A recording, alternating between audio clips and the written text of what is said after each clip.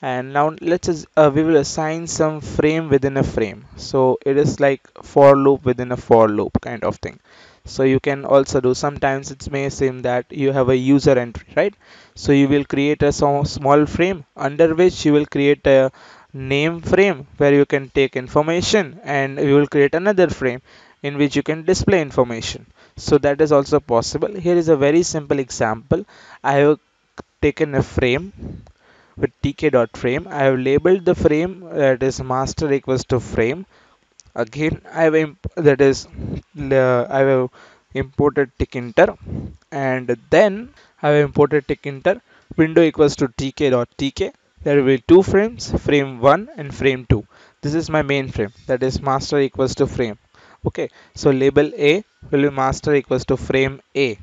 So there is a greater frame frame A and there will be a smaller frame frame B. Both we need to pack and see I have just packed both of the frames.